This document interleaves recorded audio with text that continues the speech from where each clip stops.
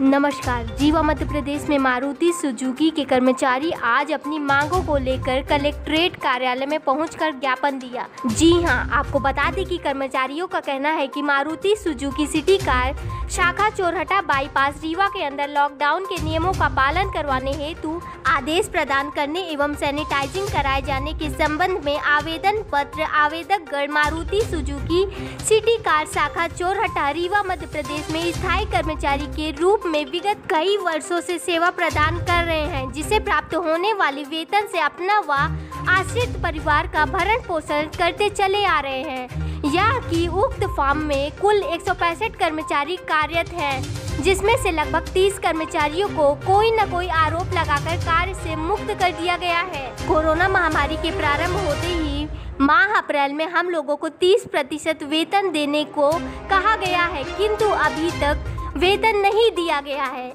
एवं मई में 15 दिन का वेतन प्रदान करने की बात कही जा रही है। आपको ये भी बताते चले कि वेतन नहीं मिलने से हम लोगों का परिवार भूखों मरने की कगार पर है।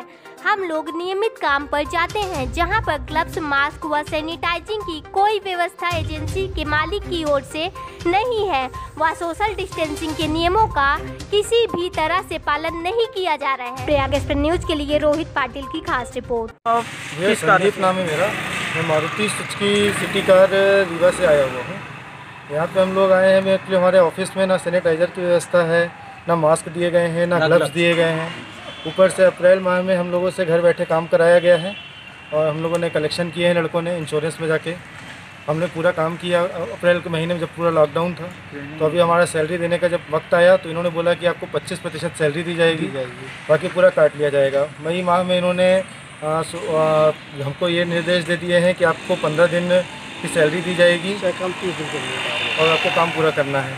तो हम काम पूरा कर रहे हैं पूरा वो कर रहे हैं। हमारे ऑफ़िस में ना सैनिटाइज़र हुआ है ना कोई व्यवस्था दी गई है। छः मई को यहाँ से तहसीलदार ऑफ़िस से गए थे।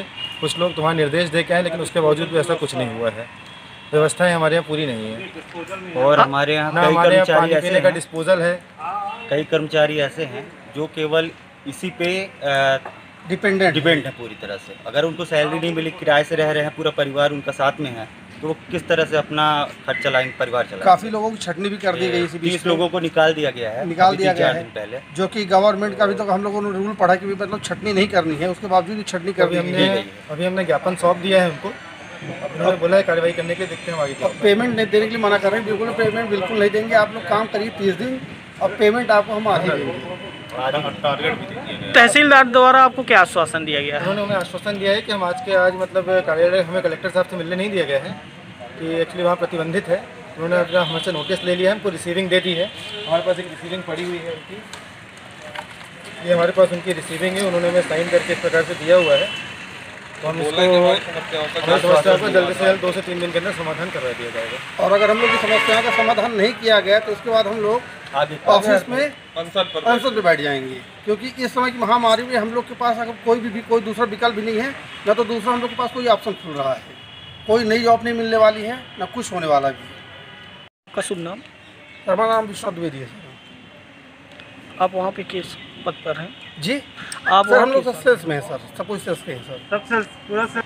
आपका क्या नाम है? Sandeep Sharma sales department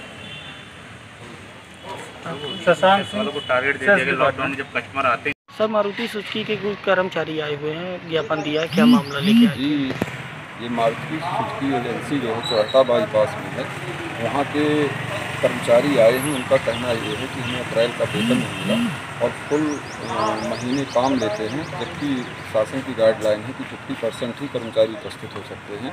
दूसरा इनकी कोरोना से सुरक्षा के लिए कंपनी द्वारा भरपूर सैनिटाइजर उपलब्ध नहीं कराया गया और ना ही इनको मास्क उपलब्ध कराया गया है।